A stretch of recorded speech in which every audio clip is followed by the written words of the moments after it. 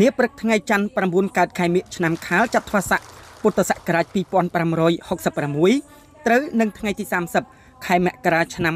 2023នេះសម្ដេចក្រឡាហោមសខេងឧបនាយករដ្ឋមន្ត្រីរដ្ឋមន្ត្រីក្រសួងមហាផ្ទៃនិងជាប្រធានគណៈកម្មាធិការជាតិសុវត្ថិភាពចរាចរណ៍ផ្លូវគោកហៅកាត់ថាកោសចកោសម្ដេចបានអញ្ជើញដឹកនាំកិច្ចប្រជុំបូកសរុបលទ្ធផលការងារសុវត្ថិភាពចរាចរណ៍ផ្លូវគោក ឆ្នាំ2022និងលើកទិសដៅការងារឆ្នាំ2023ដែលកិច្ចប្រជុំបានប្រារព្ធឡើងនៅក្រសួងសាធារណការនិងដឹកជញ្ជូនលោកជំទាវមិនម៉ាណាវីរដ្ឋលេខាធិការក្រសួងសាធារណការនិងដឹកជញ្ជូននិងជាអគ្គលេខាធិការនៃអគ្គលេខាធិការដ្ឋានគណៈកម្មាធិការជាតិសុវត្ថិភាពចរាចរណ៍ផ្លូវគោកបានរាយការណ៍អំពីលទ្ធផលនៃការត្រួតពិនិត្យរឹតបន្តឹងការអនុវត្តច្បាប់ ដោយក្នុងរយៈពេល1ឆ្នាំបានត្រួតពិនិត្យយានយន្តសរុប1លាន121,1136គ្រឿងក្នុងនោះមានម៉ូតូ75%រកឃើញយានយន្តល្មើសនិងពិន័យជាប្រាក់បានចំនួន142,817គ្រឿងក្នុងនោះតូចចក្រយានយន្តនិងត្រីចក្រយានយន្តមានចំនួន115,801គ្រឿងជាមួយគ្នានេះក៏មានរថយន្តល្មើសចំនួន27,016គ្រឿង ហើយរថយន្តធុនធ្ងន់មានចំនួន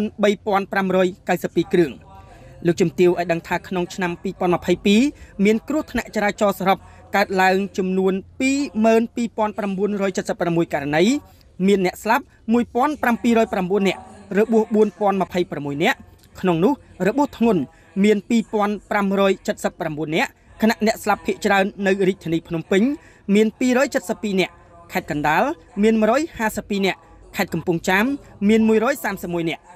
មូលហេតុនៃគ្រោះថ្នាក់គឺបើកបរលើសល្បឿនកំណត់39%មិនគ្រប់សិទ្ធិអាទិភាព24%មិនប្រកាន់ស្ដាំ11%វ៉ាជែង10%បត់ក្នុងស្ថានភាពគ្រោះថ្នាក់9%ស្រវឹង4%ងងុយ1%លោកជំទាវអះអាងថាករណីគ្រោះថ្នាក់ចរាចរណ៍ប្រចាំឆ្នាំ2022នេះបើប្រៀបធៀបនឹងឆ្នាំ2021បានកើនឡើងចំនួន306លើកស្មើនឹង11% អ្នកស្លាប់កើនឡើង212នាក់ស្មើ14%របួសកើនឡើង411នាក់ស្មើ11%ក៏ប៉ុន្តែបើធៀបឆ្នាំ2019ដែលជាឆ្នាំមានគ្រោះថ្នាក់ចរាចរណ៍ច្រើនបំផុតនោះហេតុការណ៍គ្រោះថ្នាក់ចរាចរណ៍បានថយចុះចំនួន1145លើកដែលស្មើនឹង28%អ្នកស្លាប់បានថយចុះ272នាក់ស្មើ14%និងអ្នករងរបួសថយចុះ2115នាក់ស្មើនឹង34% លោកជំទាវអគ្គលេខាធិការបន្តថាជាការកត់សម្គាល់អ្នកជួបគ្រោះថ្នាក់ដោយការប្រើប្រាស់ម៉ូតូមាន4403នាក់ស្មើនឹង77%ក្នុងនោះមិនពាក់មួកសុវត្ថិភាព មាន3054នាក់ស្មើ69%ភាគច្រើនមិនពាក់នៅពេលយប់ខណៈពេលយប់ក៏មានគ្រោះថ្នាក់ចរាចរណ៍កើតឡើង57%ដែលបណ្ដាលឲ្យមនុស្សស្លាប់57%របួស54%ចំនួននេះបើប្រៀបធៀបនឹងរបាយការណ៍នៃគ្រោះថ្នាក់ចរាចរណ៍សរុប ដោយឡែកករណីគ្រោះថ្នាក់រថយន្តដឹកកម្មករក្នុងឆ្នាំ2022មាន13លើកស្លាប់1នាក់របួសជាង370នាក់បញ្ជូនករណីគ្រោះថ្នាក់ចរាចរណ៍ទៅតុលាការមានចំនួន1027ករណីបានដោះស្រាយចប់121ករណីកំពុងអង្កេត664ករណីនិងបញ្ជូនជនល្មើសទៅតុលាការបាន316នាក់សភាពការគ្រោះថ្នាក់ចរាចរណ៍លើផ្លូវលបឿនលឿនរយៈពេល3ខែ ពីថ្ងៃទី1ខែតុលាដល់ថ្ងៃទី31ខែធ្នូឆ្នាំ2022ក៏ត្រូវបានរាយការណ៍ឲ្យដឹងក្នុងកិច្ចប្រជុំដែរដែលបើតាមលោកជំទាវមិនម៉ាណាវីក្នុងរយៈពេល3ខែនោះមានរថយន្តឆ្លងកាត់សរុបចំនួន1លាន54962គ្រឿងមានគ្រោះថ្នាក់កើតឡើង38លើកខូចខាតយានយន្ត46គ្រឿងក៏ប៉ុន្តែគ្មានអ្នកគ្រោះថ្នាក់បណ្ដាលឲ្យស្លាប់និងរងរបួសធ្ងន់ធ្ងរនោះទេ នាឱកាសកិច្ចប្រជុំបូកសរុបលទ្ធផលការងារសវត្ថិភាពចរាចរណ៍ផ្លូវគោកឆ្នាំ2022និងទិសដៅការងារឆ្នាំ2023នោះដែរក៏មានការថ្លែងចំណាប់អារម្មណ៍អំពីស្ថានភាពជួសជុលថែទាំផ្លូវជនបទដោយតំណាងក្រសួងអភិវឌ្ឍជនបទហើយបន្ទាប់មកអាដាមទេសរដ្ឋមន្ត្រីសុនចន្ទថលរដ្ឋមន្ត្រីសាធារណការដឹកជញ្ជូននិងជាអនុប្រធានអចិន្ត្រៃយ៍គណៈកម្មាធិការជាតិសវត្ថិភាពចរាចរណ៍ផ្លូវគោកក៏បានអញ្ជើញថ្លែងចំណាប់អារម្មណ៍លើប្រធានបទសំខាន់ៗមួយចំនួនពាក់ព័ន្ធនឹងការធ្វើចរាចរណ៍នៅកម្ពុជាដែរ។ អាដាមទេសរដ្ឋមន្ត្រីបានស្នើកិច្ចប្រជុំពិចារណាដំឡើងកម្រិតល្បឿនសម្រាប់រថយន្តលើផ្លូវដែលត្រូវបានពង្រីកគន្លងនិងបានផ្ដល់ព័ត៌មានជូនអង្គប្រជុំអំពីដំណើរការថែទាំផ្លូវថ្នល់ការស្ថាបនាកែលម្អគុណភាពផ្លូវការសិក្សាចប់សពគ្រប់ដំណើរការគ្រោងសាងសង់ស្ពានព្រែកប្រាចាក់អង្រែក្រោមការសិក្សាផ្លូវដែកលបឿនលឿនភ្នំពេញប៉ោយប៉ែតការសិក្សាគម្រោងជីកព្រែកពីទន្លេបាសាក់ទៅកាន់សមុទ្រដើម្បីសម្រួលការដឹកជញ្ជូនតាមផ្លូវទឹក ព្រមទាំងទស្សនៈទានមួយចំនួនអំពីការពង្រឹងការអនុវត្តច្បាប់ស្តីពីចរាចរណ៍ផ្លូវគោកអញ្ជើញមានប្រសាសន៍សំណេះសំណាលនិងផ្ដល់អនុសាសន៍នេះឱកាសនោះសម្ដេចក្រឡាហោមសខេងឧបនាយករដ្ឋមន្ត្រីក្នុងនាមរាជរដ្ឋាភិបាលកម្ពុជាដែលមានសម្ដេចតេជោហ៊ុនសែនជាប្រមុខបានសម្ដែងការកោតសរសើរចំពោះកិច្ចខិតខំប្រឹងប្រែងរបស់ថ្នាក់ដឹកនាំអាជ្ញាធរកងកម្លាំងមានសមត្ថកិច្ចចំណុះគណៈកម្មាធិការជាតិសុវត្ថិភាពចរាចរណ៍ផ្លូវគោក ទាំងការពង្រឹងការអនុវត្តច្បាប់ស្តីពីចរាចរណ៍ផ្លូវគោកការកសាងច្បាប់លិខិតបទដ្ឋានគតិយុត្តការកសាងជួសជុលកែលម្អផ្លូវនិងការបំពាក់សម្ភារៈធានាសុវត្ថិភាពចរាចរណ៍ជាដើមសម្ដេចបានមានប្រសាសន៍ថានៅឆ្នាំ2022កន្លងទៅការធ្វើចរាចរណ៍បានបើកដំណើរការពេញលេញទូទាំងប្រទេសធ្វើឲ្យគ្រោះថ្នាក់ចរាចរណ៍កើនឡើងបើធៀបនឹងឆ្នាំ2021ដែលមានការបិទចរាចរណ៍ខ្លះដោយសារ COVID-19 ទោះបីករណីគ្រោះថ្នាក់ឆ្នាំនេះមានកំណើនធៀបឆ្នាំ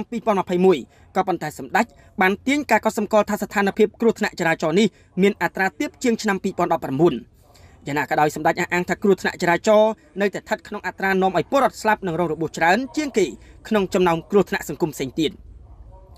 សម្ដេចឧបនាយករដ្ឋមន្ត្រីក៏បានបន្ថែមថាគ្រោះថ្នាក់ចរាចរណ៍បានបន្សល់ទុកសោកនាដកម្មជាច្រើនដល់ប្រជាពលរដ្ឋដូចជាការរងរបួសពិការភាពការខាត់បងទ្រព្យសម្បត្តិជាឧបសគ្គរារាំងដល់ដំណើរការអនុវត្តគោលនយោបាយកាត់បន្ថយភាពក្រីក្ររបស់រាជរដ្ឋាភិបាលដោយសារអ្នកប្រាស្រ័យផ្លូវមួយចំនួនមិនគោរពប្រតិបត្តិច្បាប់ខ្វះសិលធម៌ខ្វះការយល់យកអធ្យាស្រ័យហាក់ដូចជាមិនសូវស្រឡាញ់ជីវិតខ្លួនឯងនិងអ្នកដទៃ សម្ដេចក៏បានជំរុញឲ្យបង្កើនការលើកទឹកចិត្តឲ្យអ្នកបើកបរនិងវិស័យឯកជនខាងដឹកជញ្ជូនរួមចំណែកក្នុងការងារសុវត្ថិភាពចរាចរណ៍ឲ្យកាន់តែសកម្មជាងពីបច្ចុប្បន្នសម្ដេចក្រឡាហោមសខេងក៏បានផ្ដល់ទស្សនៈទានថ្មីទៀតអំពីការដាក់គោលដៅយ៉ាងណាឲ្យប្រដ្ឋខ្លាចច្បាប់ចរាចរណ៍ជាងខ្លាចប៉ូលីសនិងកម្លាំងកងរវហាត់ដែលអនុវត្តច្បាប់សម្ដេចបន្ថែមថាបរដ្ឋខ្លាចច្បាប់ទើបធានាសុវត្ថិភាពចរាចរណ៍បានច្រើនតែបើបរដ្ឋខ្លាចតែអ្នកអនុវត្តច្បាប់ ដូចជាប៉ូលីសអាវុធហត្ថជាដើមនោះនឹងធ្វើឲ្យការងារនេះឡើងចុះឡើងចុះត្បិតបើរឹតបន្តឹងខ្លាំងបញ្ហាចរាចរណ៍នឹងធូរស្រាលតែបើមានការបន្ថយការរឹតបន្តឹងស្ថានភាពល្មើសចរាចរណ៍ក៏កម្រើកឡើងវិញខ្លាំងសម្ដេចមានប្រសាសន៍ទៀតថាច្បាប់ស្តីពីចរាចរណ៍ផ្លូវគោកថ្មីនឹងក្លាយជាយន្តការថ្មីមួយទៀតដើម្បីបង្ខិតបង្ខំឲ្យប្រដ្ឋខ្លាចច្បាប់ធានាសុវត្ថិភាពដូចជាយន្តការដកបានបើកបរក្នុងពេលស្រវឹងឬមានសារធាតុញៀនជាដើម សម្ដេចលើកទឹកចិត្តឲ្យប្រដ្ឋហ៊ានរីកាអំពីករណីអនុវត្តច្បាប់មិនប្រក្រតីរបស់អាជ្ញាធរសមត្ថកិច្ចដើម្បីលើកកម្ពស់ការអនុវត្តច្បាប់ឲ្យបានល្អប្រសើរសម្ដេចក៏បានអំពាវនាវអគ្គស្នងការដ្ឋាននគរបាលជាតិពង្រឹងការត្រួតពិនិត្យឯកសារឈាករថយន្តដោយពិចារណាធ្វើប្រតិបត្តិការឆ្មក់តាមគោលដៅប៉ុន្តែមិនត្រូវឲ្យការងារនេះคล้ายជាកងត្រូលជជុះជាដាច់ខាត សម្រាប់ទីតាំងកែច្នៃយានយន្តគ្មានអាជ្ញាប័ណ្ណក៏ត្រូវបិទជាបន្ទាន់ហើយចាត់វិធានការទៅតាមផ្លូវច្បាប់និងអនុញ្ញាតឲ្យដំណើរការឡើងវិញប្រសិនបើបានរៀបចំត្រឹមត្រូវតាមច្បាប់និងក្បួនបច្ចេកទេសសម្ដេចក៏បានផ្ដល់អនុសាសន៍លើកទឹកចិត្តឲ្យក្រុមហ៊ុនឬអាជីវករលក់ម៉ូតូថែមជូនមួកសុវត្ថិភាពដល់អ្នកទិញដើម្បីជាការលើកទឹកចិត្តនិងជាការចូលរួមចំណែកបណ្ដុះវប្បធម៌គ្រប់ច្បាប់និងគិតពីសុវត្ថិភាពសូមបញ្ជាក់ថាក្នុងឆ្នាំ2022កន្លងទៅការត្រួតពិនិត្យអ្នកជិះម៉ូតូមាន115,801គ្រឿង ក្នុងនោះរកឃើញអ្នកមិនពាក់មួកសុវត្ថិភាពដោយខាត់បង្ខំឲ្យរកមួកមកពាក់មុននឹងពិន័យជាប្រាក់ចំនួន94%នៃចំនួនល្មើសសរុបដែលឡែកការល្បាតត្រួតពិនិត្យតាមផ្លូវជាតិលេខ4លេខ5លេខ6លេខ7លេខ8លេខ73លេខ41លេខ44និងផ្លូវជាតិលេខ51ក៏បានរកឃើញរថយន្តល្មើសនិងពិន័យសរុបចំនួន12540គ្រឿងផងដែរ ដែលឡែកដំណើរការសាក់លបងដកបន្ទុកអ្នកបើកបរល្មើសច្បាប់ស្តីពីចរាចរណ៍ផ្លូវគោកចាប់ពីថ្ងៃទី1ខែកញ្ញាដល់ថ្ងៃទី31ខែធ្នូឆ្នាំ2022ក៏បានត្រួតពិនិត្យដកបន្ទុកអ្នកបើកបរសរុបចំនួន8513នាក់ក្នុងនោះមានស្ត្រី588នាក់រថយន្តធុនស្រាល7477គ្រឿងហើយក្នុងចំណោមករណីល្មើសចំនួន7579គ្រឿងសមត្ថកិច្ចបានដកបន្ទុកសរុបចំនួន10162បន្ទុ កក្នុងនោះរថយន្តធុនធ្ងន់មានចំនួន1036គ្រឿងស្មើនឹងបន្ទុកដកសរុបជាង600យ៉ាងណាក៏ដោយក៏មានអ្នកដកបន្ទុកត្រូវបានបំពេញបន្ទុកឲ្យវិញផងដែរ